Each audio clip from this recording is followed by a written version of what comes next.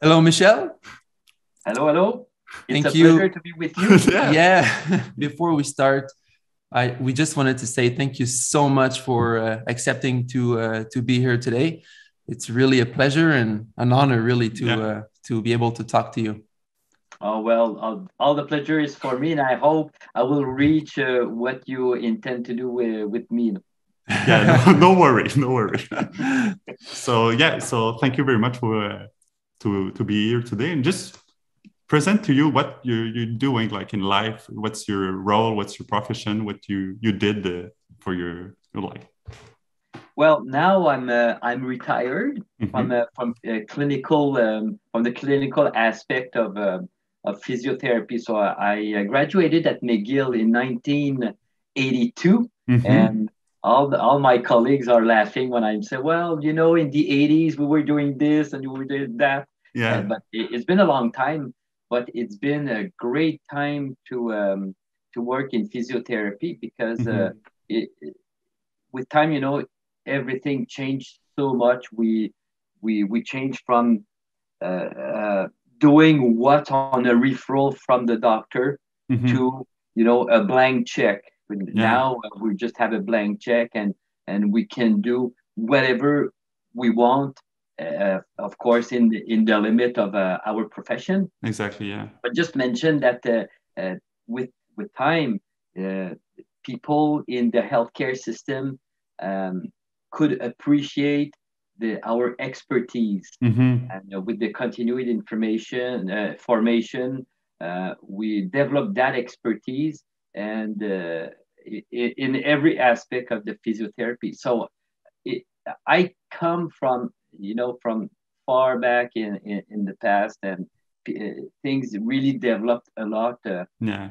You know, the, the students are, uh, or when we have students in, in rotations at our uh, at the institute or uh, or in, in any center, um, you come in the center and you know you don't have to think about um, or, you don't know how the profession developed through time you come yeah. in and the program is well established but we come from really a long time and i yeah. feel privileged to uh, have been able to uh, to work uh, to develop you know the physiotherapy in mm-hmm. the general aspect and especially for me in uh, in uh, spinal cord yes exactly because you specialize in that like kind of uh, in that sector? In the, with that population uh, for 38 years. Mm-hmm. And I've worked for those 38 years at l'Institut de réadaptation Gingras-Lindsay de Montréal, which mm-hmm. is now uh, in the CIUSSS uh, um, in Montreal. yeah, it changed a lot. a, an expertise center for a spinal cord injury. Mm-hmm. So I did my studies at McGill, and then I started. I did a rotation a final rotation in um, in spinal cord uh, at the institute, mm-hmm. Montreal Rehab Institute, and then I was lucky enough to uh, to have been hired there, and mm-hmm. I've been working there since since then. And through time, you know, I developed. Um, I worked to teaching was um, was kind of one of my hobbies. Mm-hmm. So uh, uh, I worked a lot on um, on build up and building up courses. And I was fortunate enough that in uh, 1989, University of Montreal, uh, of Montreal approached me to give a course in spinal cord.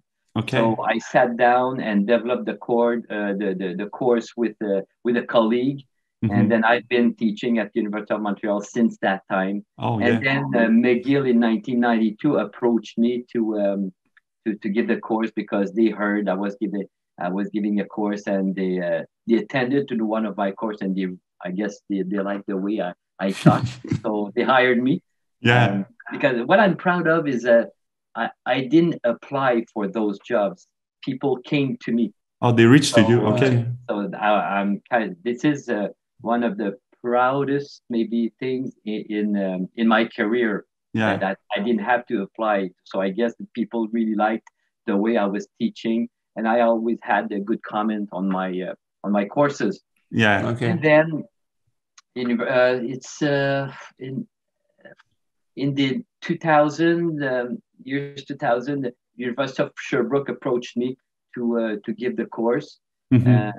which I and then um, um, University of uh, uh, Laval, University uh, of in Chicoutimi. Oh yeah, okay. They, they approached me, and uh, I don't remember what uh, what year, but I've been doing teaching there uh, maybe for the last uh, six or seven years. Okay. So I go there in Chicoutimi. Uh, by plane, which takes me less time than going in Montreal by car. Oh yeah! Oh my god! it's like uh, six hours if you go to by oh, car. Oh, she could see, by car. It's about six hours. Yeah, yeah and by flight it's like two hours maybe. It's uh, an hour. An hour. Wow, it's quick. So uh, I uh, I leave in the Thursday morning, and the Thursday morning I give my course, and I come back the, the Friday, Friday night, which wow. kind of it, it's kind of nice. Yeah, yeah, yeah, right. for sure. And, and also I teach at from Montreal, McGill, Chicoutimi, and and Sherbrooke, and I taught a few years at the University of Ottawa. Also. Okay, yeah. Always okay. the uh, the traumatic and non-traumatic aspect of uh, of spinal cord injury. Mm-hmm. Okay, so I was yeah, yeah sure, yeah. I, well, okay. I was just uh, curious, like, what made you go into the field of spinal cord lesions? Is that something that you've always been thinking about, or it kind of changed uh, with your mm-hmm. first jobs and yeah, it, it's funny. Well, it's not funny you asked that question because yes, yesterday night during during my sleep, I said I, I was figuring what kind of question they going to ask, uh-huh. and that was one of the questions. Okay, for sure, it's um, an easy well, one. Well, you know, in, in those times, I graduated in '82, mm-hmm. so during that time in the 70s and 80s, you know, physiotherapy was not a lot, very much recognized. Yeah. You know, you ask people in the street i think today it's it's much better yeah but uh, when uh, far back uh, in the 70s 70s and the beginning of 80s when you ask people uh, or when people ask you what you were doing, oh, physiotherapy. Oh, you give massage and, yeah. and you work with a broken and still today, and yeah. legs. Uh, it has changed a little bit, but still, yeah. not long ago, uh, you know, mm. someone came to do my floor in, in, the kitchen and he asked me what I was doing. And I said, physiotherapy. Oh, is you give massage and yeah. you bring the break. You know, it's similar, but people, yeah. they're more aware of what we do because we have developed that expertise. Mm-hmm. But in those days, um, I didn't really know what physiotherapy was. You know, we had that little book, 100 uh, professions. And, yeah and that that's all you know we didn't have any internet or anything like that. So uh, i just looked that book uh, uh, through that book but i knew i wanted to do something to help people. Mm-hmm. so i came across physiotherapy uh, and I, I knew i wanted to go to the university and in in the healthcare system. Okay. So i chose uh, physiotherapy. Uh, medicine i probably would have liked yeah. But retrospectively, I'm glad I didn't go because it's. Oh yeah. It, it's crazy the, the life. You know, I have one of my friends who is a doctor, and uh, mm-hmm. it's you know you're with the pager at 24. Uh, you always do, yeah.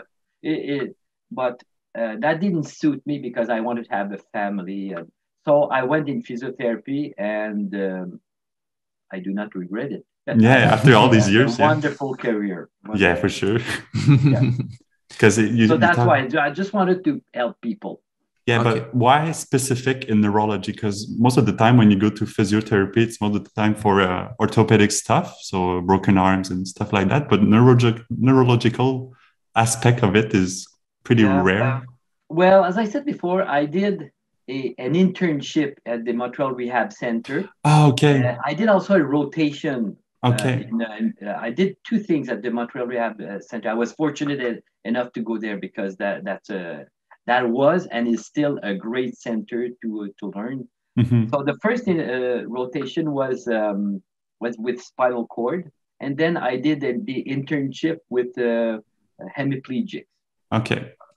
And so it was in neurology, uh, but my interest I developed um, um, when I started working there, I I didn't really want to uh, to work with uh, people with uh, cognitive problems, you know, mm-hmm. with speech problems. Yeah. I worked a year with uh, hemiplegics. I, I liked it, but um, I knew that wasn't what I wanted to do the rest of my career. Mm-hmm. So uh, spinal cord suited me well in terms of personality because it's uh, well in those days. Well, I shouldn't say that it's more dynamic. It's not true because people working with a you know TBI, a traumatic brain injury or or hemiplegic, they will tell you it's pretty dynamic. Yeah. But um, the, for me personally, the advantage of uh, working with spinal cord injuries that you, you it's a spinal cord injury, so it, there's no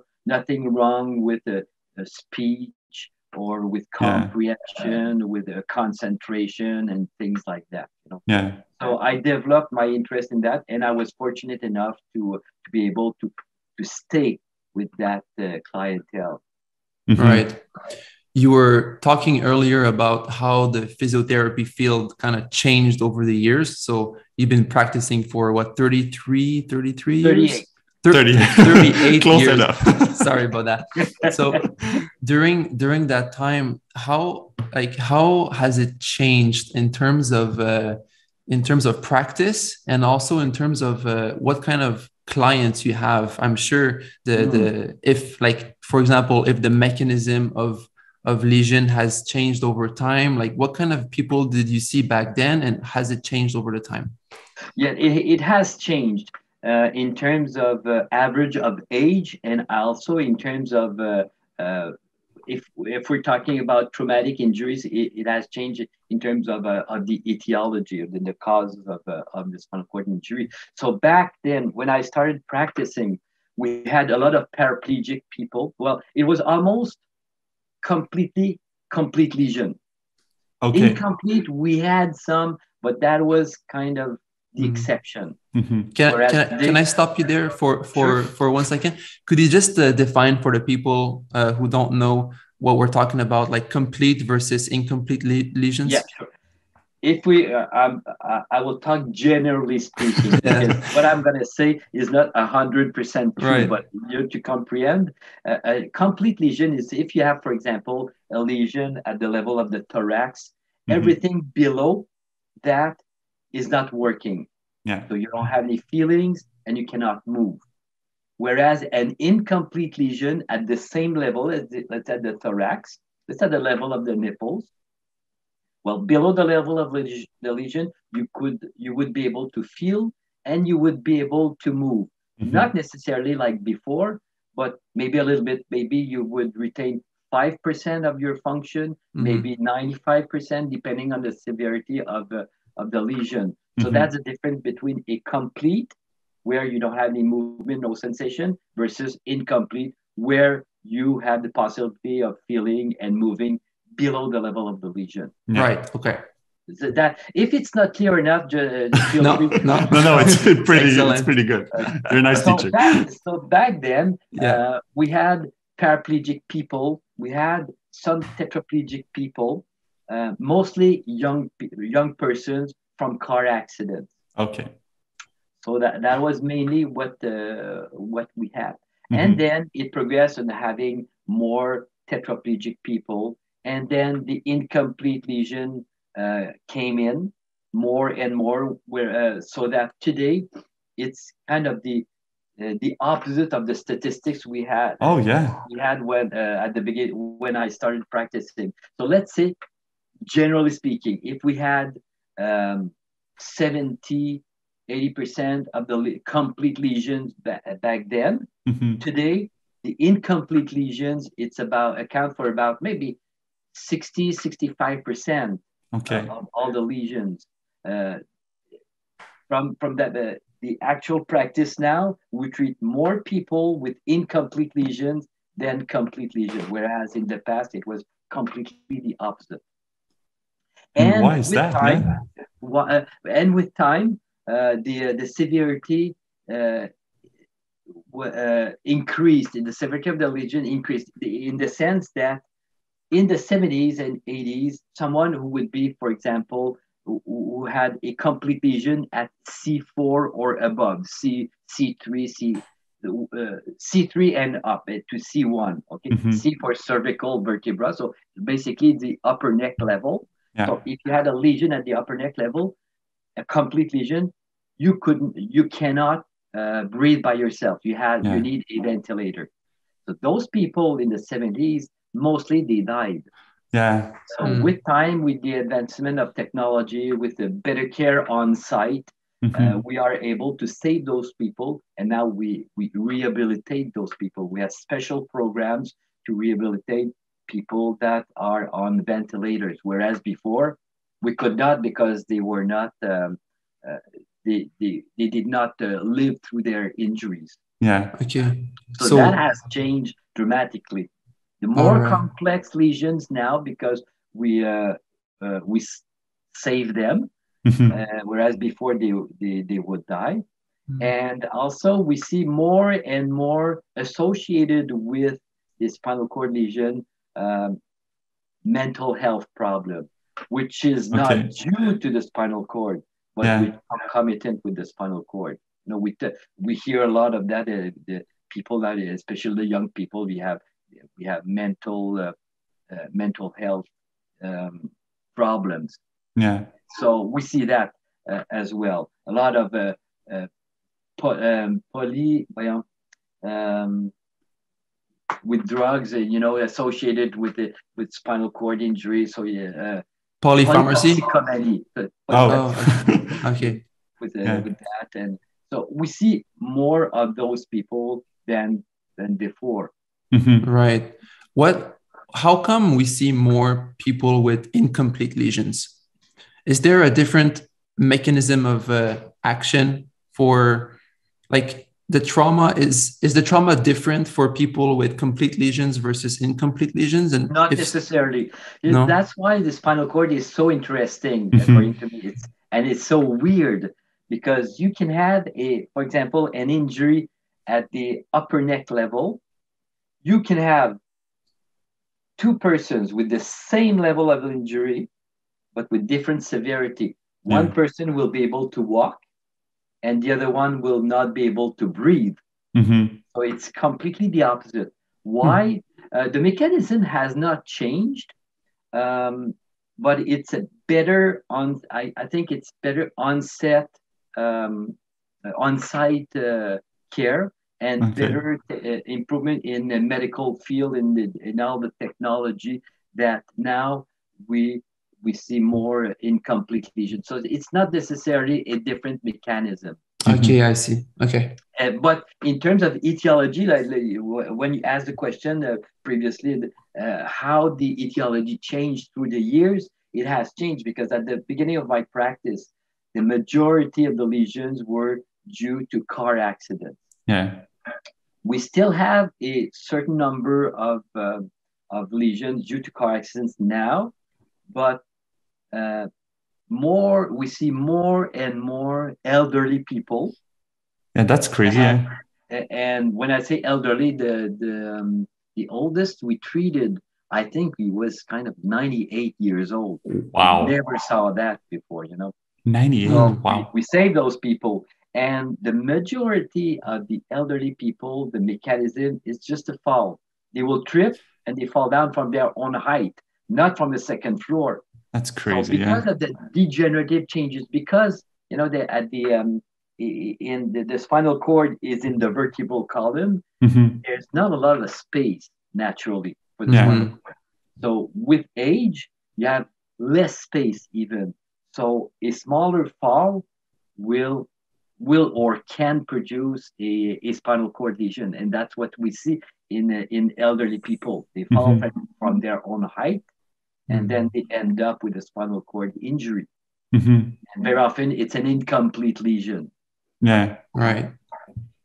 Mm. And that's crazy because um, most of the time when you talk to someone with uh, for example, when you, you want to talk about lesion of the uh, spinal cord, they say, oh, probably it's because of a car accident. But as you said, now it's elderly people with only like they only fall on the ground. And that's why they, they came up with the cord lesion. Yeah. So that's crazy. So the even the mentality of the, the population didn't change, but the, the cause has changed uh, through time. Because yeah, it's kind of it's kind of crazy. Yeah. The average age of a spinal cord injury also. You know, when I started the practicing, the average age of the person was uh, a little bit under 30 years old, and mm-hmm. now it's over 50 years old. Mm. Yeah.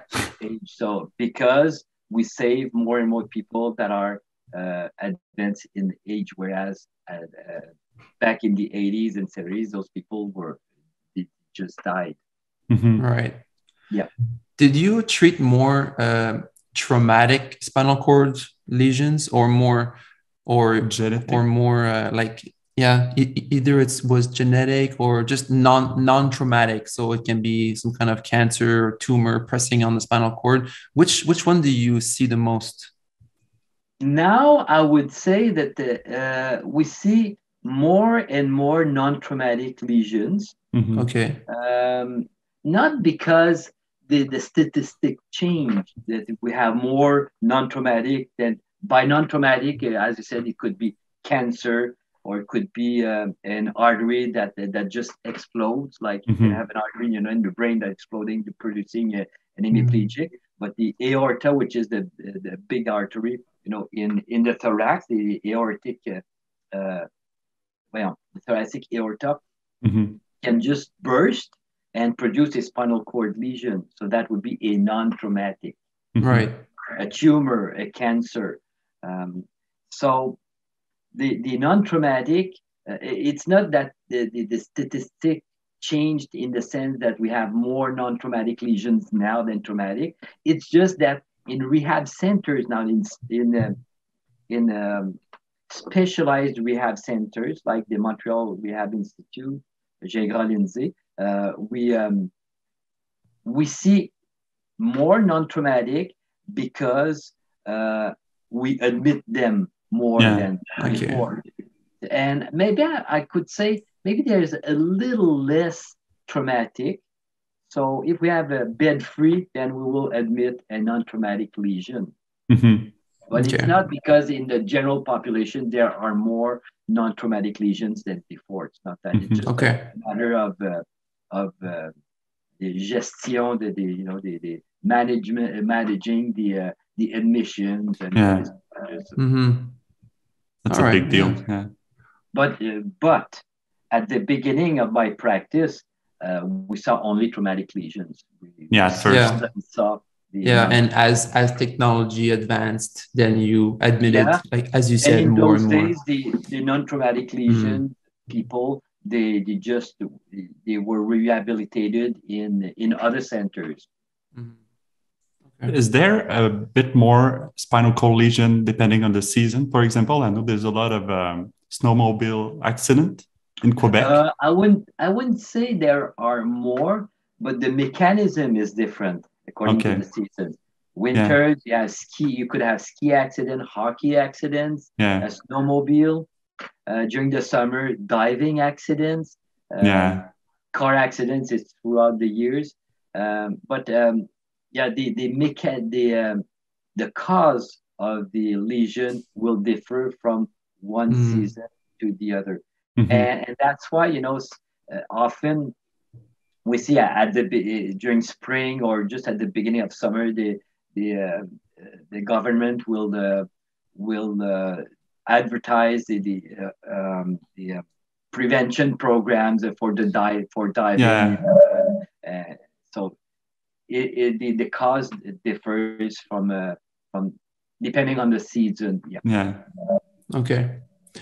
One one area that was that is a common misconception is in terms of prognosis. Once you have a traumatic injury, let's say uh, you're you're diagnosed with a compression of uh, the spinal cord at let's say C5 C6 level it's just a compression. There's no actual tear in the spinal cord. And then people will often have this misconception as like, well, there's no tear. So, you know, I, I may be able to walk again. But you explained this in class and it's actually quite false. Could you just yeah. explain why is it that okay. the spinal cord cannot kind of rejuvenate itself, mm-hmm. even if it's just a compression? Okay let's try to make this simple. That's simple. Try. It's a great question, but it's complicated. Um, Okay, I hear I I hear that I heard that very often uh, in my practice. Well, you know, mm-hmm. my spinal cord is just compressed. It's not lesion. It's not mm-hmm. severed.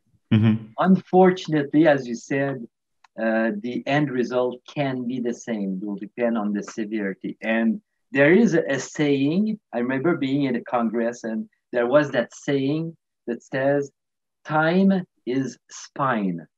meaning that if you have a compression, time is essential. You know, a spinal okay. cord uh, could survive a, comp- a, a, a great compression uh, for maybe 15 minutes. Mm-hmm. After that, you start to have degeneration. And, you know, spinal cord, it, it's not like a bone. It, it, if it bends or if it's compressed, it will not crack. You know, yeah. it's malleable. It's kind of plastic. Mm-hmm. mm-hmm.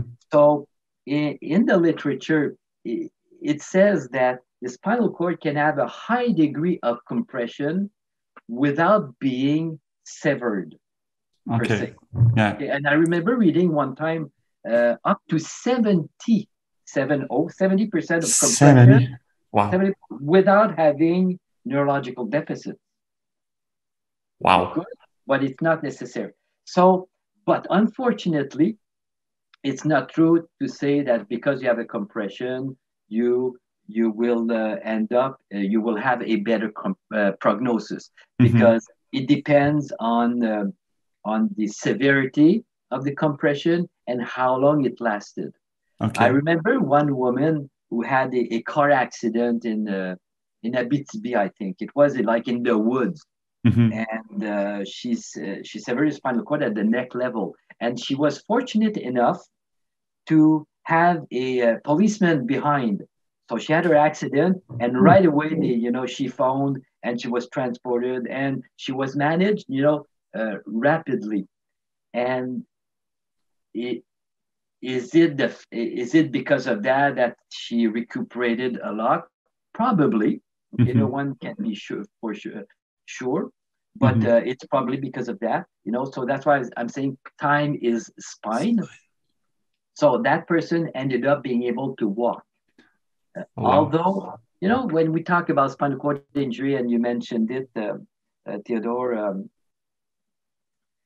walking is yeah that's the big thing that's yeah yeah that's the big thing and uh, but for us and for also for patients it depends on who you're talking to. You talk to a paraplegic pa- person, they will tell you walking is kind of essential. I, my goal is to recover the walking aspect.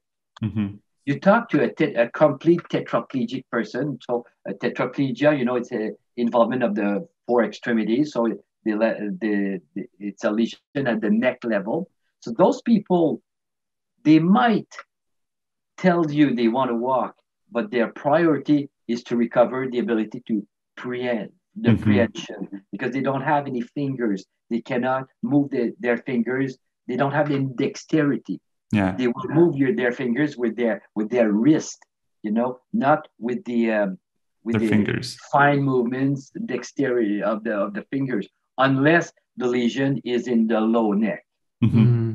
But those people they want to recuperate their hands Mm-hmm. Whereas paraplegic, they, they want to recuperate the function of, um, of, of walking. And I think for the general population, the walking aspect is very important. But if you look at the literature, what it says is, is, that if someone with a spinal cord injury, you have kind of a negative bonus. And the negative bonus is you have problems with bowel and bladder. You don't have any control over your bowel and bladder uh, whatever the lesion. Okay, yeah. if the lesion is severe enough, of course. Um, and those people that have uh, bladder and bowel problem, if you ask them their priority, the top priority is to recuperate control of the bowel and bladder more than walking. Yeah. If you have someone with severe pain, their priority is to have a better control of pain instead of walking. Walking would come like a, the third. You have bowel bladder pain and walking. Right. I think that's so important to know that what you just said, like time is spine. I think it's it's important for people to know that as soon as you have an accident, like time is priority. And I I personally I didn't know that it was the the time factor that was one of the most important. Um, yeah, At I think first, that's yeah. yeah. That's time. Time know, is yeah. Time is is because when you have this spinal cord, and again here the literature shows that it's the the spinal cord will be severed more yeah. from a swell a, a, swelling that develops with the spine. You know, when you break a bone, it swells. It's painful mm. and it swells. Well, with the spinal cord injury, traumatic spinal cord injury, it's the same. If you have a vertebra that, that is uh, severed or fractured, it will swell. It will compress the spinal cord. Yeah. And that's the the major thing, even with traumatic lesion, non-traumatic, you have, can have cancer compressing, but with traumatic, you have the swelling that compresses the spinal cord. And when you have the swelling, you interfere the blood circulation to the spinal cord. And we all know that, you know, blood brings the nutrients to uh, mm. for the mm. nutrition, a good nutrition of the spinal cord, mm-hmm. so that the, the the neurons that compose the, the spinal cord they can live. Yeah. If you stop the blood right. circulation, the neurons will die, and that's where you have your uh, your neurological deficits. Mm-hmm. Right.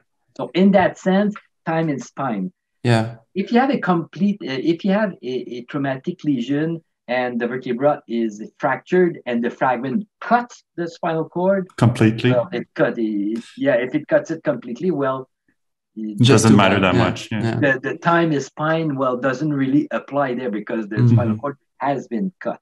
You know. Right. And unfortunately, today we cannot reconnect. Not yet. Not yet. Maybe one day. On that, maybe one day. Maybe on day. that topic, are you aware of uh, any new new technology that's being uh, or like research? Is there for real? Is there? Yeah. Yeah. Oh wow. Okay. Yeah. Well, we we hear more about the you know as exoskeleton since few years back. Uh, That's not relatively relatively new, but here in Quebec, we're uh, actually uh, we're starting at the Montreal Rehab. J, um, voyons, l'étudier d'adaptation Gingrale. we start, we, uh, we're just starting to use exoskeleton in rehab. Mm-hmm. Before it was used for uh, for research purposes, but now we use it in rehab. Um, but to my knowledge, actually, there are no research showing that you know using an exoskeleton will be beneficial. It might be beneficial, but there's no um, relation to cause to effect yet. Okay.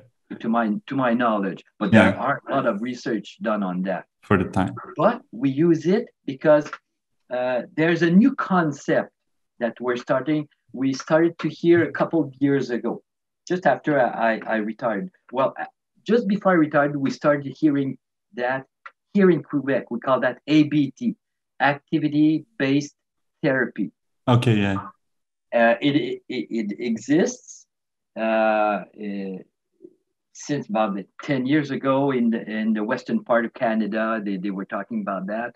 But here in Quebec, we start hearing from that and we start applying that philosophy. It's a philosophy, you know. Mm-hmm. Um, so that's relatively new. And well, relatively new you will talk to some people uh, or you would talk to me and i would say well we've we've been doing that since many years the yeah. ABT, the activity based therapy which is basically exercises not specific exercises for example for strengthening you can give an exercise to a person to strengthen bicep bending yeah. the elbow that's a specific exercise but in terms of recuperating your independence bending the elbow will not will help not help you that much. Yeah. What will help you is to strengthen in a functional way for rolling, for sitting, for standing if you can stand, for transfer, doing push-ups to transfer with a board, without a board.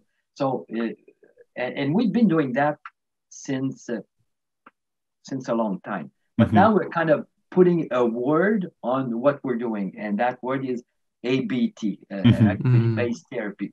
So it's a lot of repetitions of specific activities um, that will involve muscle groups below the level of the lesion. So you will use uh, functional electrical stimulation. You will do, use a locomotor training on a treadmill with a support. Uh, you would you would use uh, weight bearing activities. So these are kind of the components of uh, of the ABT and, and, the intensity. Now, what mm. is tough to do with that relative new philosophy here in Quebec, at least, it's the intensity. Uh, as we know, the the uh, the length of stay in rehab centers or in even general hospitals, it's it shortens. Yeah. You know, we, we used to have a longer uh, length of stay, but now it's so short that there's so much we can do um, in rehab. Mm-hmm. So very often those people will continue on an outpatient basis in specialized clinics uh, like in Montreal, we have uh, spe- that specialized uh, uh, rehab center. It's called a NeuroConcept that will okay. use kind of that philosophy to, mm-hmm. to continue the um, the rehab program. Yeah. Now, is this better than anything else? That remains to be seen. You know, the we're not sure for now, even with the studies. Yeah, yeah. Okay. So we'll but, hear more about that. We'll hear more about that. But it made sense though. Yeah. For me as a clinic, I'm not a research guy. I'm a clinician.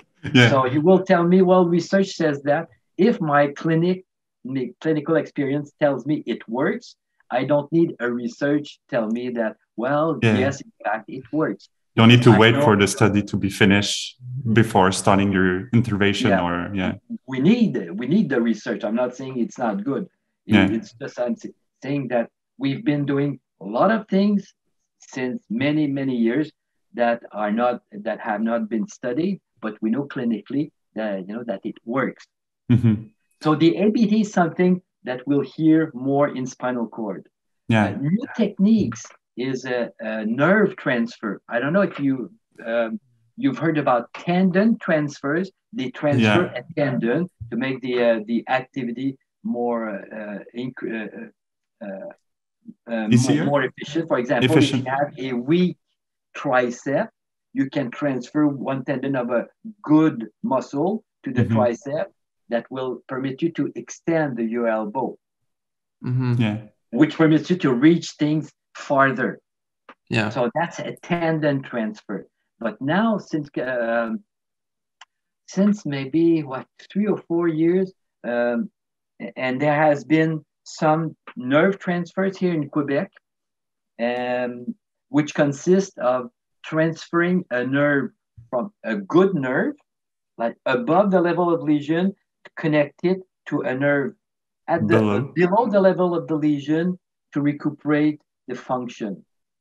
And we will see that more, not for walking because walking is, is too complicated, yeah. but for uh, people that are paralyzed, you know, uh, from the neck down for tetraplegic people, just to improve the function of the hand, just being able to raise the wrist or close or open the fingers, that mm-hmm. will help a lot in terms yeah. of their own independence. The functional that, aspect of the their yeah, yeah.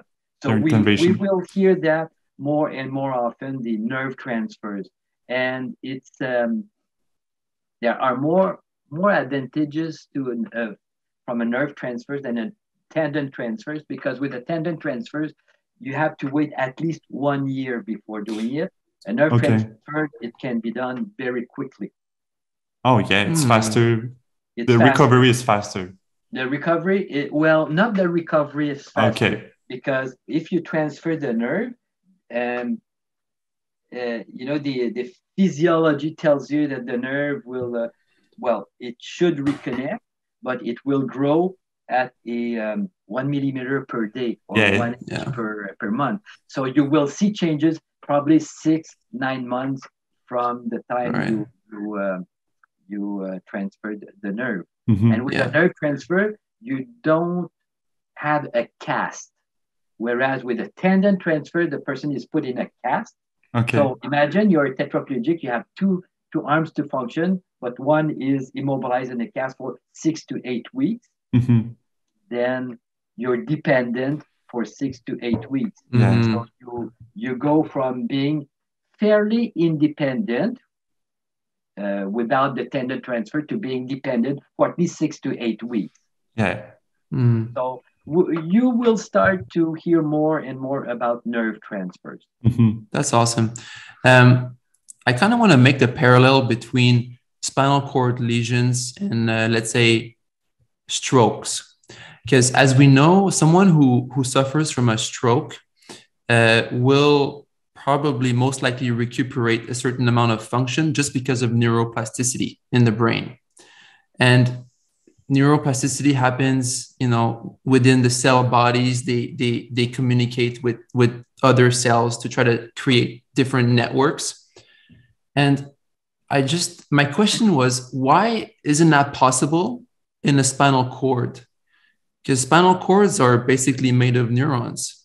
Mm-hmm. uh, and they're not that different from the ones we find in the brain right? A neuron is a neuron. Yeah. And so i know that someone with a spinal cord lesion will have uh, like can have a certain amount of motor function back. Like the as we saw in class you know the ASIA scale can can change. You know you can have uh, your triceps can regain a little bit of function so there is a little bit of plasticity but is that really neuroplasticity or is it, or is it oh, just nerves waking up kind of no no well it could be both could be both oh it's yeah. a mix okay, uh, because the you know with the uh, uh, in English we say CVA for hemiplegic. You know, with, yeah. when you have a brain pro- uh, with a yeah.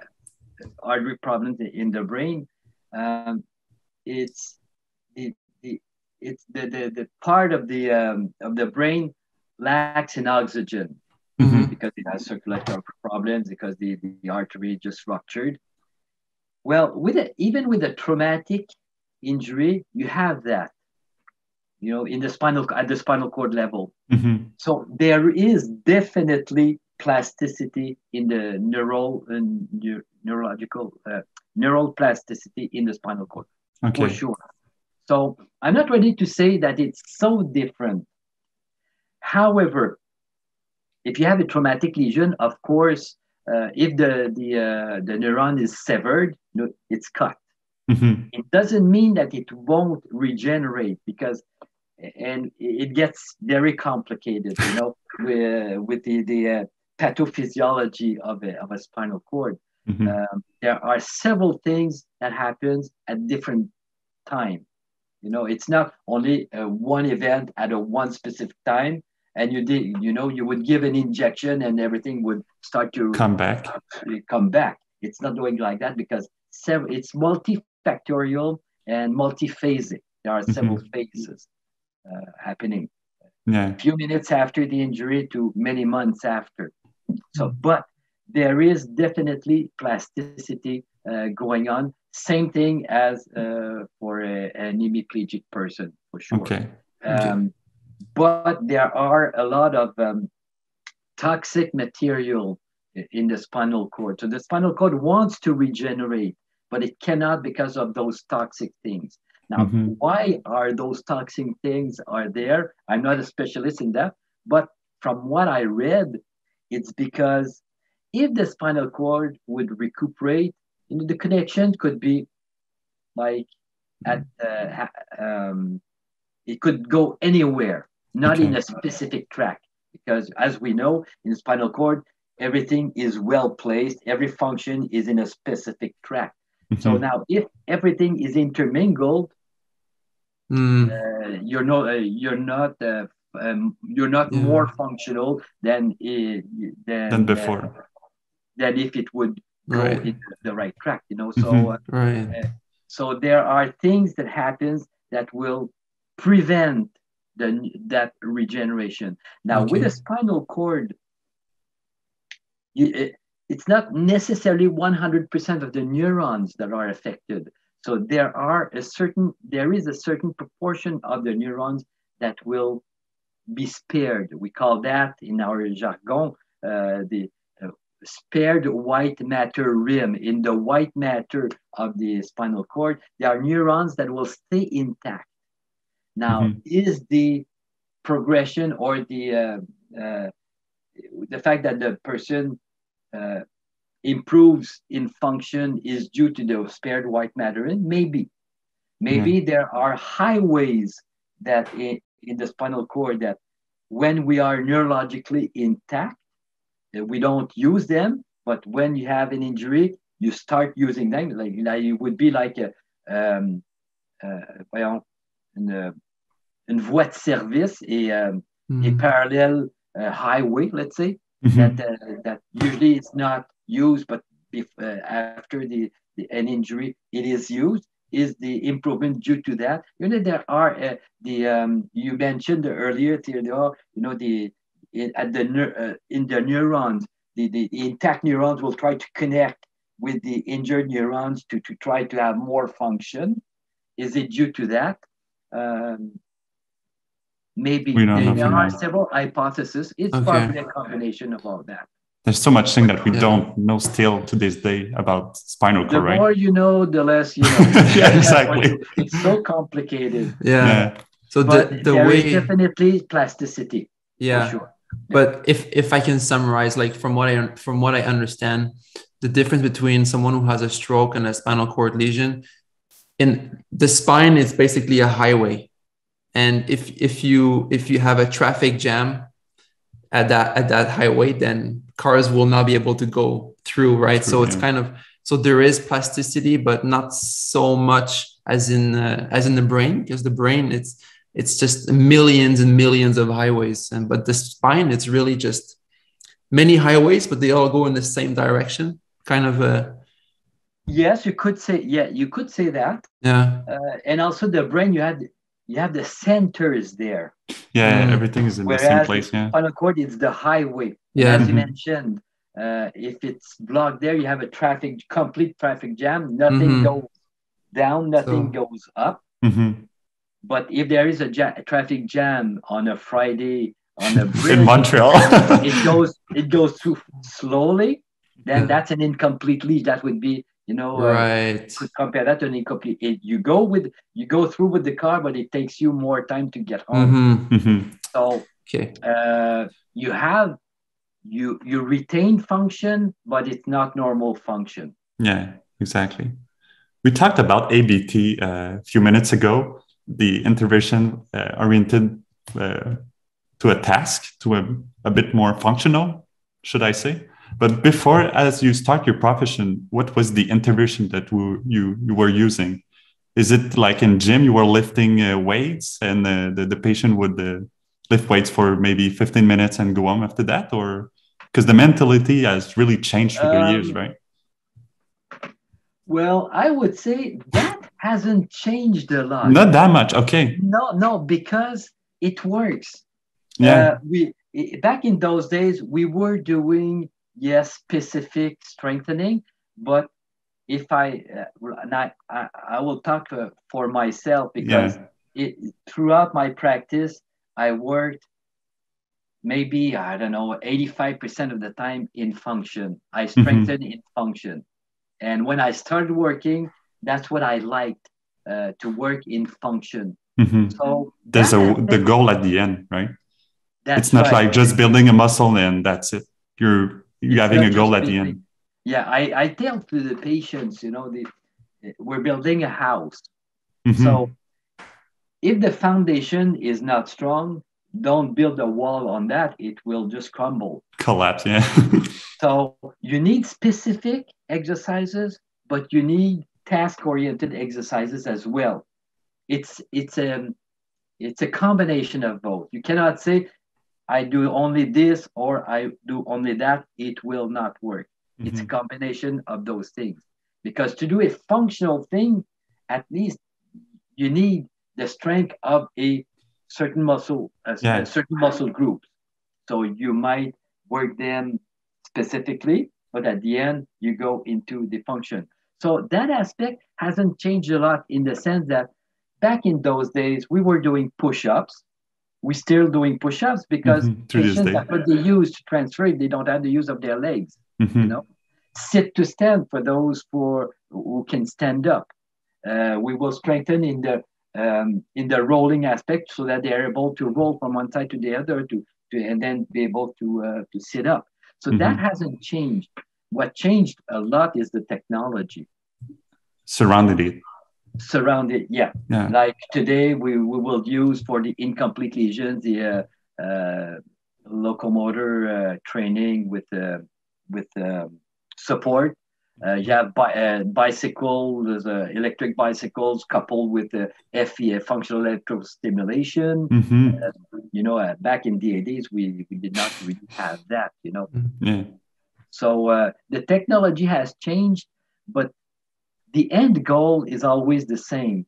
We want to bring the person to the highest level of independence as possible, mm-hmm. according to their level of injury mm. and according to the severity of injuries. Mm-hmm. Yeah. Do, um, how? What's the time frame for um, neuroplasticity? Like, uh, or for just just how can someone get better? I mean, I'm trying to figure this out. Um, like, until when are functional changes and, mo- and, and motor changes? Until when are they? Can they happen? So mm-hmm. I think during the class you mentioned like maximal gains can happen within a year, give or take a year. Does that mean that after a year we cannot have more gain of function, or is there a plateau? Is like, could you explain a little bit more? There, well, there will be a plateau. Where the plateau is, we don't know. Okay, okay. and uh, it, uh, I'm not ready to say that you know after you have the maximal change at one year.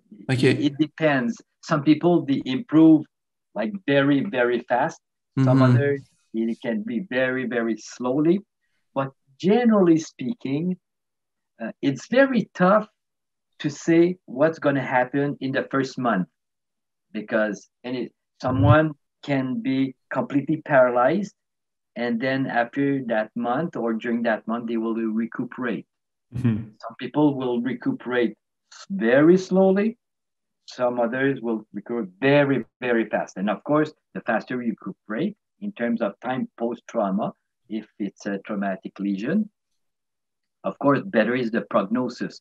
But generally speaking, we say that the majority of the neurological changes, which is different from a functional changes.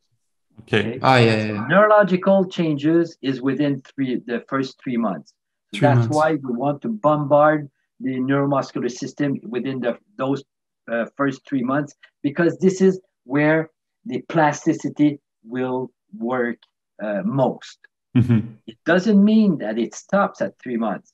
It just says, or the, with the, the, different research, it says that after three months, the uh, the slope of progression will go uh, uh, will be less uh, progressive you know it's going to go up slowly uh, some people they, they said that they still recuperated after three years after four years now that's not neurolog necessarily neurological um, mm. improvement. It's functional.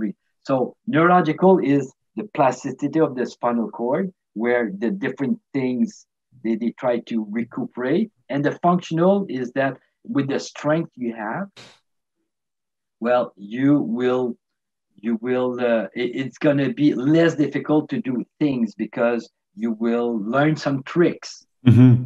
it's the know, the way how you do it yeah you will repeat the activity at home and uh, and then you will but but that's a functional we have a functional mm. pro- progression and that's why we use abt right activity based training is is is to foster functional training in the task so that they will get better at what they want to do, right? Yes. So that's the whole and, purpose of it. Yes. And as the person progresses, as the plasticity works in the spinal cord, you want the connection to be to go in the right direction. So that's why you use those functional activities. You will strengthen in the um, in, in the functional activities so that the, the proper connection you hope that's where it's going to go so it's going to go in the right track mm-hmm. not going to go in a different direction. Yeah. And how we, we were talking about like a prognosis and stuff like that. How, as a physiotherapist, do you make a prognosis and how do you tell the patient what's going on with that prognosis? Because as you said, it's, it's changed so much with the time. Like in the first month, you don't really know what's what will be the evolution of his condition. But is there a good time to make a prognosis? And if there is, if, what's the way to tell the patient? That's a uh, a big question, money enormous, question. enormous question. But uh, what, uh, what you said is totally true. There is a time uh, to say it. There is a person to say it, and there is a way to say it. Mm-hmm. So not anybody can tell the person. Not you don't tell the person. Uh, you don't say any. You have to, to use the proper words to do that because you don't want to to cut the hope of the person. You always mm-hmm. want the person to keep some hope. Uh, you don't you don't open the door wide open, but you leave it open a little bit. Mm-hmm. So what usually when the, the the question arises and it will, am I going to be able to walk? Example, this, that, that's a classical question. And then what do you say? So what I would say um, is, uh, well, the, you know, the, the first the first three months comes into play. You know, this is where we have most of the progression within that first three months. Mm-hmm. Now, if it has been four months since the uh, trauma, let's say we're talking about the traumatic lesion, I'm going to tell the person, you know, the, most of the, the, the progression is within the first three months. It doesn't mean that it stops there. It continues, but it's slower. Mm-hmm. We've been at four months, you know, uh, it, it's, um, it doesn't mean that it, it, the progression won't continue. It doesn't mean that it's going to stop there. We will see how it goes through how it goes through times. Very often in spinal cord, the uh, the answer is hmm, we really don't know, and time will tell. Yeah. Unfortunately, and that it, it, it, that it never satisfies the person, but that's that's the way it is. So I would say, you know, yeah, time will tell. It, time will tell us if it continues to improve, what's the rate of improvement, or you know, in we have this situation right now. Let's try another week or two weeks. You know, we'll work hard and we'll see how it goes. Mm-hmm. And if it stays like that, well, maybe that's uh, that's the the condi- the limit of the condition. Yeah. Because we we cannot work over the limit of the condition. So right. Um, it's around those words that I would say, you know, the first three months is important and where is the person situated in that three months? Now, when the question arises, um, as I said, there is a, a time to say it, a person to say it, and a way to say it. Yeah. So sometimes the physio will tell, sometimes it could be the, the occupational therapist or the doctor. It depends very often on who's more comfortable, who the patient is more comfortable with. The relationship that you build with the patient, That's who has right. it. Yeah. Yeah. And in physiotherapy, we're fortunate enough to to uh, pass a lot of time with the person. Mm. You know, we're, we're working with them four or five days a week for 45 minutes, an hour, and you know, we we we uh, learn to know the person as a, a person. Mm-hmm. You know, that, that that's well nursing staff also, occupational therapists also. But uh, you know, the, the, doctor they spend less time with the the so uh, very often it's we're gonna designate a person to tell the patient, okay, now because of this, this, this, um, don't think about walking. Yeah. Sometimes we have to say that clearly, mm. but uh, it's not a one person person thing. You have to speak. I would speak to the, the team, the interdisciplinary team first because that's not a one person thing mm-hmm. because everybody has to see the same thing because yeah. if one person says otherwise who do you think the person will believe you know you have 10 person saying no saying you won't walk and one person tells you you're gonna walk who do you think the person will believe not the nine person one person yeah where is the hope and that happened uh, a few uh, maybe i remember one time it happened one person in the team said, mm. "Yeah, you will walk," and we got stuck with that. And then you you have to you know educate the person why it won't be possible. And yeah. and and that's not easy. No, and I remember one uh, young girl. She was con- she was a tetraplegic person, uh, and uh, she was convinced she would walk. She could barely bend their, her, her elbows against gravity. Mm-hmm. So and she she was convinced she, she would walk, and the family was convinced she would walk. And then you have to convince them that what you're doing, uh, and I would explain that to anybody. You know, I, I I hear what you say. You want to walk, but for now it's not possible. Well, uh, are you anxious to get home? And everybody would, yeah, of course. Now, what will bring you home is your independence at the wheelchair level at this time. Mm-hmm. And then we'll see with time how it goes. And if someone appears in your legs, we'll evaluate and we'll work on it. But if something, if nothing comes back, in 2021, there's no therapeutic exercises, there's no technology that will make things reappear if they're not there. Mm-hmm. What exists now is compensation. An exoskeleton is compensate for the lack of muscular mm-hmm. muscular activity in the legs. You know, mm-hmm. yes, the person can will be able to walk with the exoskeleton, but it's not neurological improvement. It's just a right. compensation from an, uh, an artificial thing. Yeah, I would imagine when you announce the person that he or she will not be able to walk again i would imagine uh, well i mean i can't even imagine actually how that person would feel. It must be uh, such a shock to find out uh, that news.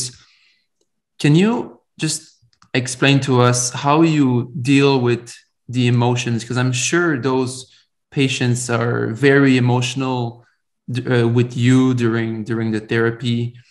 And uh, like how do you as a physiotherapist you your priority is to deal with their function? Like you know how they how they transfer and try, try to make their lives better.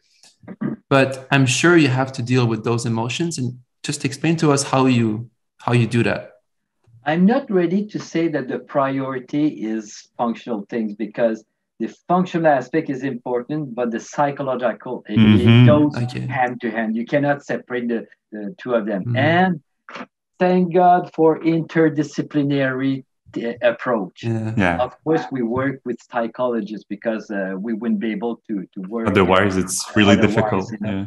yeah. And thank God for the uh, the team approach, because um, very often it's something when someone a patient tells me that you know of course it, it affects us. So after the treatment i would for sure pay a little visit to the side my colleague the psychologist and we would we will establish a strategy of intervention. Now mm-hmm. very often the patient will not want to see the psychologist i'm not crazy i don't need a psychologist but you know the psychologist is not there only for crazy people so if the person doesn't want to see the psychologist, then the psychologist will do her, her or his intervention through us. So we'll okay. establish a strategy so that I'm gonna uh, I'm gonna say things or I'm gonna do things with the patient from what the psychologist would tell me. Or better, if the person accepts to see the psychologist, then very often the psychologist comes into the gym or we will uh, we will agree on a certain type. Okay, now come with me. You know, come with me. Uh, meet the, the person, uh, the patient, and uh, we will work the three together for that 45 minutes, for example. Or as I do my exercises, the uh, the psychologist will do her intervention with the patient at the same time. At the same time. Oh. Yes. Okay. Sometimes we were, you know, someone with a lot of uh, pain, I would do a massage in the neck, and psychologist will be beside me, and she will would be talking with the patient, or do a relaxation technique, or visual, visualization techniques. So it's it's a uh, it's a team effort. It's that's the key, right? That's the as a physiotherapist, you don't really learn that at school. No, unfortunately yeah. there are not enough uh, courses on uh, on that for sure. Mm-hmm. yeah. It's really by not, experience and uh... yeah yeah.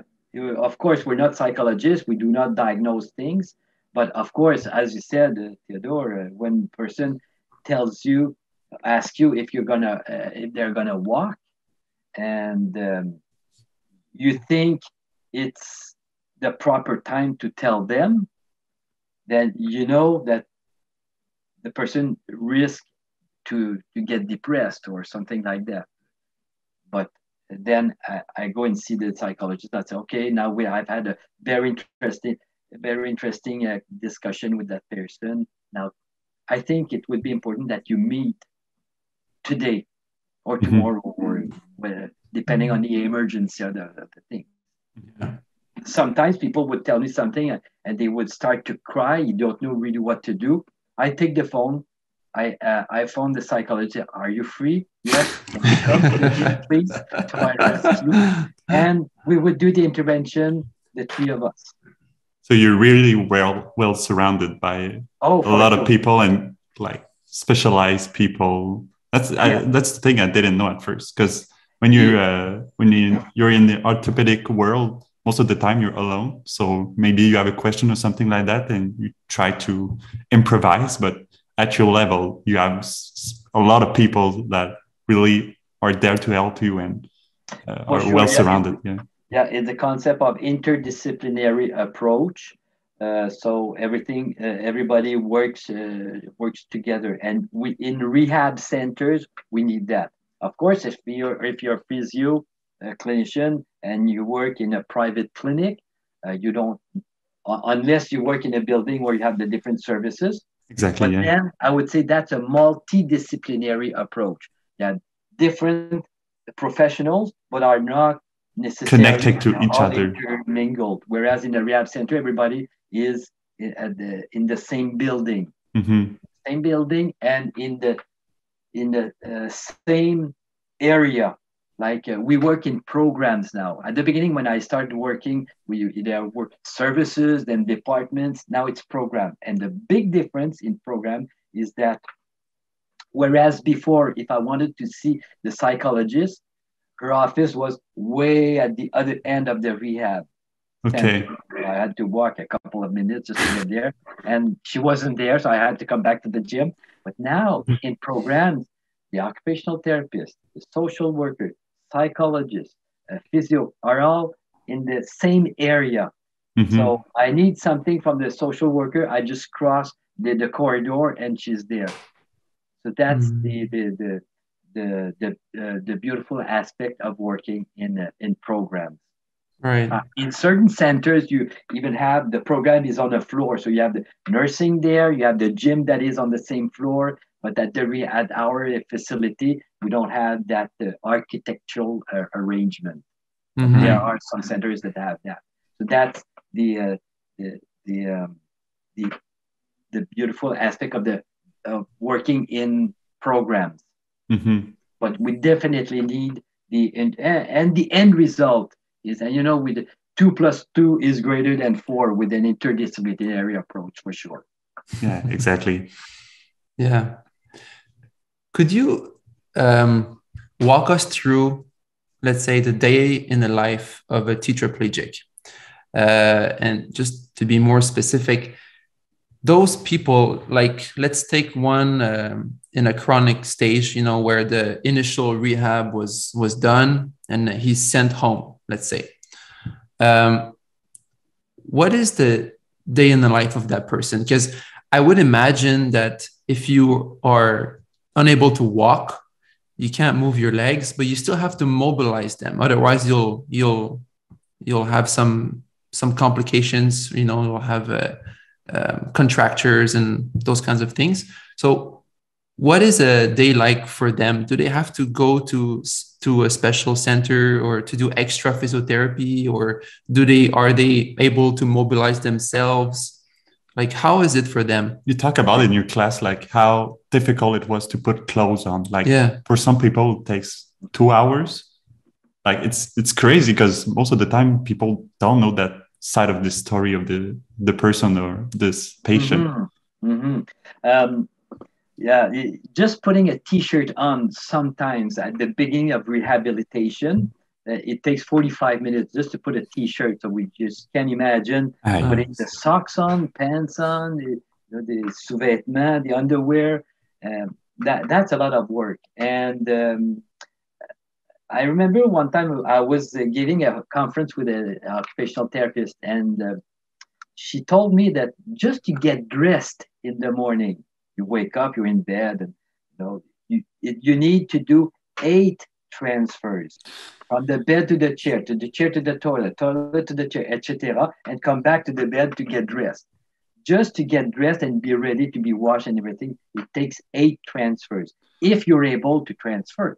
Exactly. If you're not able to transfer, you have to wait for the person to transfer you. And so it, it depends on the level of, of independence. But just that, you know, you need eight transfers. Of course, with time, they, they get better with practice and it takes less time, but still, when I give my courses, I, I, I never say it's easier. I always say it's less difficult because yeah. it's always difficult. Mm-hmm. It, it takes so much energy. And that's a concept of energy conservation. We teach that to the person as they go through their rehab because it's very important. If you spend 100% of your energy to get dressed, and you don't have any energy to do fun things, then you just lie in bed all day long. So they have to choose, you know, what their priority is. Mm-hmm, to select. So yes, they they, they basically they they had let's say it's a, a traumatic lesion. So they go in the acute center, then they go into rehab center, and very often they they will go either as an inpatient, depending on the level and severity of the lesion, uh, in in an um, in um, we call it well, a phase three um, center where you're not necessarily ready to go to to the apartment, but you need that a little time there. Uh, you're you're you're less um, encadré, you know. You're yeah. Uh, you're a bit more independent than before. You're, you're, a little bit more independent, but not independent enough to go back home. Yeah. So you will go to this center because your your intensive rehab is finished.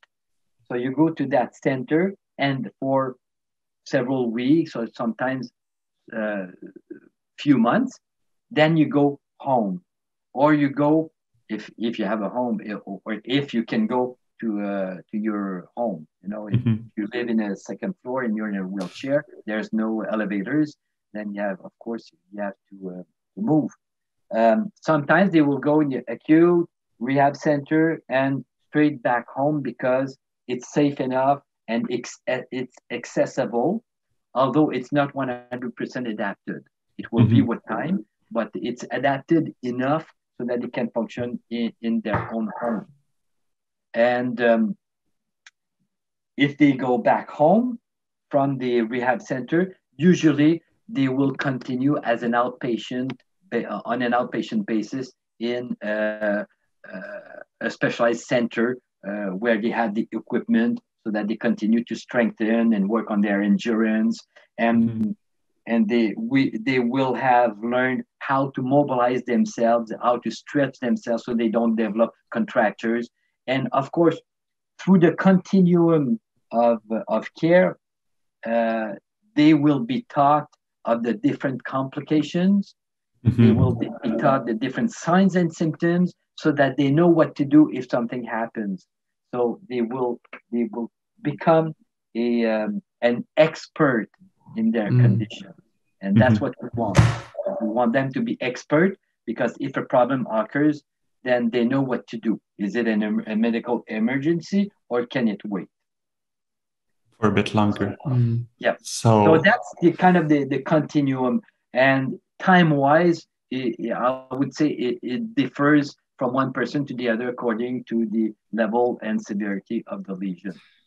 It always depends on where, like, how the the, the how they uh, get better, how the condition evolves. So it depends also on the motivation of the patients. Yes. And uh, that, that's really the, the big thing. But how do they live at their house? Like, do they need uh, a lot of um, adaptation most of the time? Or also this depends on the condition and the uh, evolution? Is it all yeah. Uh, different well, today, for each patient? Uh, it's much better than, than in the past, of course, because we have – more support in the community. So we have people that have uh, C4 lesions. C4, they can breathe on uh, by themselves. You know, they can't lift their arms up. They're not uh, strong enough, but they can live on their own because they have support from the CLSCs and, and the different help they, they need because they need help. They're, they're totally dependent. They need someone to prepare their meal, sometimes someone to feed them, they cannot get dressed, they cannot get out of bed, they cannot transfer. Uh, they can mobilize themselves in the wheelchair with a motorized wheelchair, mm-hmm. uh, either with the hand or with the neck if they don't have function of the shoulders and the hand. So with the neck movement, then they will be able to maneuver the, the chair. So with technology now, people can uh, can some people they can live on their own without going uh, to uh, centre d'accueil or sometimes we yeah. unfortunately young people they don't have a home they don't have a place to stay and unfortunately they end up in CL, uh, mm. CHSLD. They, they, there's long-term healthcare yeah. available, unfortunately. Mm-hmm. That's crazy. It's so not that yeah. it depends. Uh, it depends on the the, uh, the, the, the, the level of injury, the severity of the injury, and also the uh, the environment of the person. You know, as I said, you have they live on a second floor. They cannot go back there. Uh, they don't have any support. They don't have any family because they, they're alone. Then they end up and they need a lot of care. Yeah. Then they, they might end up in CHSLD, or if they're fortunate enough, they can go home uh, but they need a lot of support, external support, CLSCs mm. or maybe the family members, although the family do not become their nursing staff. Yeah. Because otherwise they, they will just get uh, burnout. mm. Yeah. You uh, you talked before. These days we see more and more elderly having spinal cord le- lesions and fractures. Um, what could you say to the general population, to the old folks out there? what could you say to them to uh, to help them prevent something like this from happening? What's the best way, do you think? Well, that's a good question. this one I have to think a little bit. Thank you. Um, the, of course, it, caution is always the, the first thing. I remember some people, you know, they uh, during the winter, there's a lot of snow on the roof. They and they go up. Get That's up their ladder on the roof. They, they fall down. Um, but sometimes it's just a plain accident that you cannot prevent. You know, unexpected. Yeah. That's why you trip. Well, you trip. Too bad. Um, uh. But if you're an elderly person, of course, with age, uh, we have less coordination, a little bit of less strength, and um, so if you wake up at night, it's always a good thing to have a little light somewhere. Oh, okay. Yeah. And when you sit up, you wait before standing up. Because, you know, if you sit up fast in the morning, it happens to us, you know, whoop, mm-hmm. you get a little dizzy. Well, if you're 90 years old and you wake up fast and you stand up fast, mm. you might lose a little bit your balance, you might fall.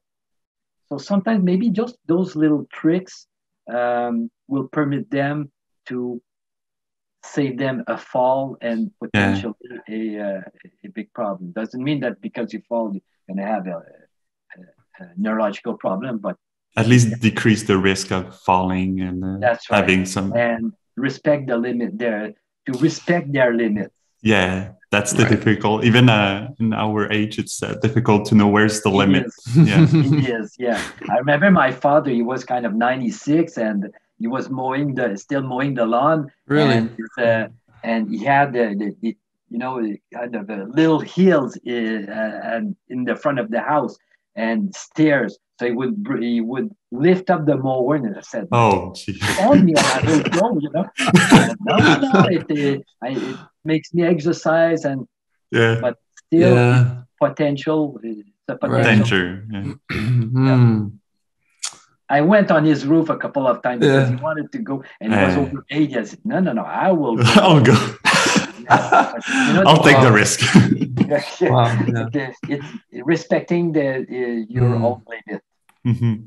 Yeah. Is there a patient that a case of a patient that you find uh, found uh, inspiring or you surprised you the most in your career? Like you you you thought you would not be able to walk, for example, and he, he did like quicker than you thought, or something like that. Do you have a special story to talk about? The Uh, I would say everybody I treated, they all impressed me oh, because whatever the level of the lesion and whatever the severity of the lesion, those people they have so much resilience, mhm. you know, and um, very often people they will hear, well, if you want, you can do it, you know. yeah. People they will encourage. You know, ah, si tu veux, tu peux. you Mhm. want, you can do it. But it doesn't work like that. If your body or your condition doesn't want you to, you, you will not be able to walk. However, those people or any part, whether the person is on a ventilator or is able even to, to walk, they, they all work so hard to to try to be as much independent as they can. So they, those people, they're all inspiration to me. You know, when I have a little pain somewhere, I just think about them. Whoa, more than Yeah. It's been worse. you know? So I will tough it a little bit, but um, they're they're all inspiring uh, and they're they're all great in the sense that I, I've treated uh, construction workers, psychologists, doctors, dentists, and they. But but for me, the, the what I like most is the elderly people because they have so much experience in life. You know, they they've been through maybe Second World War. They will tell you that, and they've been so they, they've been through so much, Whoa. and they're like 80, 85, and they have a spinal cord lesion. And you know, sometimes it's say, "Oh, you know, you're young. Oh, it it must be very tougher than it." A spinal cord lesion for me is tough at any age Mm. Yeah. young age, you know, it's tough. When you start, you're a little older, you start to have a family, it's tough. Uh, you're towards retirement, it's tough. You just retired, it's tough. You, you're in your retirement, it's tough. So every, I think every category, age category for me is is a, is a tough time to. There's no better age group that you would say, oh, you know, why he had his life, and you know, Yeah. And that's it. Like, like, like that. So, yeah. so that's why uh, all, all the people I've treated, they're so inspired. Uh, they inspired me because because of that the the resilience The they have resilience. Right. and all the energy, and you're in a survival mode, you know. And very often, the the, the you don't know you have that kind of power. You know, it's just when you're faced with it. Well, there are two options. You you don't do anything, and you decay, or Mhm. you fight through it. And most of them they they fight through it. That's crazy. Yeah, yeah. yeah i think that's that's really enlightening to like whenever something bad happens to you Yeah. You reflect on this you, and say, you oh, think about these people because there, there there's a saying right it says the worst thing that happened to you is the worst thing that happened to you Mhm. if for someone having a bad score at an exam is the worst thing but that person does not know what true hunger is uh, lives you know lives in a modern society has everything Mhm. that he or she needs well that is the worst thing that happened to that person and that's fine but having this perspective in mind mm-hmm. like just think about those guys those uh, yeah. those people and yeah. you know, it's true what you say and i remember that woman that was coming to uh, to our center because of, uh, of uh, she was walk she was able to walk and she had a back problem because in those days we, we would treat uh, sometimes uh, orthopedic people so okay. she had a back problem and every time she came back to me she she would tell me well you know what when i quit my treatment i always cry because i see all those people in wheelchairs and i'm complaining of a back problem and i told her well, you know, it, it's as you said, that Theodore, it's it, you have a back problem. It's your problem. So yes, you can compare yourself to others, but uh, you still have that problem, and it's your problem, and it's your priority to try to get better. Mm-hmm. So whatever the problem, yes, you can be you it can be relative to other people, but still, it's your problem. It's like the exam you said. There are if you flunk an exam, there are worse things in life, but you flunk it, and that's your problem, and uh, it makes you uh, mad about that, and you will work harder to have a better grade. Yeah. So mm. I will work with you so that you get better. Yeah. So, that's the mentality you need to have uh, in everyday yeah, life. Yeah. It's not just in the types of big conditions, but in everyday life. Uh, yeah, really. And, and, and, I remember another young woman. She had a um, a tumor in her neck, and she was able. She was walking, you know, like you and me. Mm-hmm. And but the big the big problem was the neurological pain. She, had, she okay. had so much pain, and pain is very uh, abstract. You know, you, you don't see that. It's not concrete. Mm-hmm. You don't see it. Uh, it's not written on your forehead. I have pain, and uh, I, I asked her what what frustrated you most? And she told me that uh, her family told her, Well, you're lucky because you're walking. Yeah. You may walking, it's true. And sometimes, well, you know, you don't complain, you're walking, you know, mm-hmm. don't hear that. But if you have pain, and the pain we know that it can have great consequences on all aspect of your life, but not mm-hmm. only the physical aspect, all aspect of your life. And that's what frustrated her most. People did not understand uh, her complaints because she was able to walk. Yeah. Walking is is not uh, the only thing. This is why it's important as a physiotherapist, I think, to ask the patient what's the goal for him or her. Because mm. what do you need? What, what do you need? Because at the time, like uh, far, far before, for example, if you take a doctor, he was like offering one option and he, he thought it was the best option for her, but he didn't ask the, what was uh, going on in her life or in his life to know uh, what do you want to do and what's your goal. So now really the mentality has changed. Now we're focusing more on their goal than their my, the, the physiotherapist goal. That's and, really and uh, that's that's a good point and we have to be careful about that you know you, oh, yeah. we have our therapeutic goals mm-hmm. but there are the patient needs yeah exactly although though those needs have to be realistic you know if you yeah that, i want to fly well sometimes sometimes a person would tell me I want to. My goal is to walk, and I'm going to be walking. In three weeks, I'm going to be walking, and the, he has a complete lesion, and yeah. it's been say three months post trauma. So we know that the chances are very, very slim that he's going to walk. Mm-hmm. And I remember uh, working on his arms, the upper body to, to strengthen and said, well, why don't you work more my legs? Because I'm going to be walking in three weeks. And mm. then you have to explain then that no, it, it doesn't work, unfortunately, that, that way. Mm-hmm. Yeah. So, so it's yeah, a mix yeah. and uh, you need to understand like uh, what's possible and what's not for the patient yeah, but yeah. yeah but we have to listen to the patient's need what are their goals and of course and we have to separate that from our therapeutic goals i remember one time the, a colleague that, uh, uh, that she told me that she was working with that 75 year old woman woman and she had the potential of walking and she was in a wheelchair and uh, she she told me that Michel, she you know she doesn't want to to stand up and walk, and I said fine.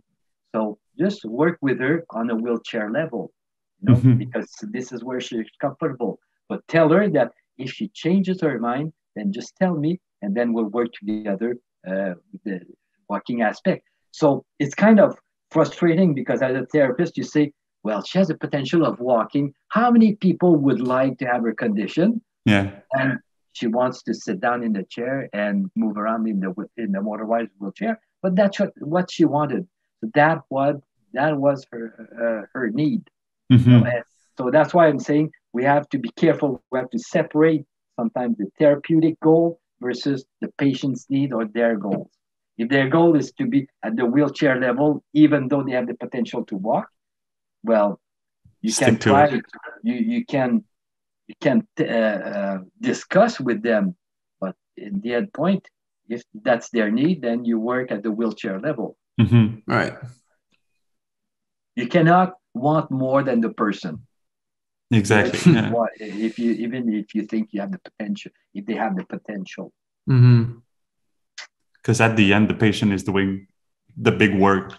He's training he's exercising and uh, yeah you cannot do more than he wants. That's uh, yeah yeah that's right. And i can understand the frustration sometimes yeah. And if, if their their need changes with time that well we just adapt. Because exactly, in physiotherapy yeah. like in any, any other profession we're great to to adapt. We're kind of elastic you know we can do several things. We're we're uh, we're malleable you know we will adapt to all the situations mm-hmm. yeah that's amazing that's a really amazing yeah yeah well i think we're good thank yeah. you very much Michel okay yeah Michel well, thank you very much it's been a pleasure it's been a pleasure, and I hope what I said is, is kind of clear enough. yeah, it's, it makes sense. It makes sense. okay, well, thank, you very, very, very much. much. for the, the invitation. Yeah thank you so much for coming here today and uh, keep up the good work. I think you're you're spreading the the good message towards our our our colleagues, and uh, we're very lucky to have you. Thank you very much. I thank you very much. Thank you. Have a nice day.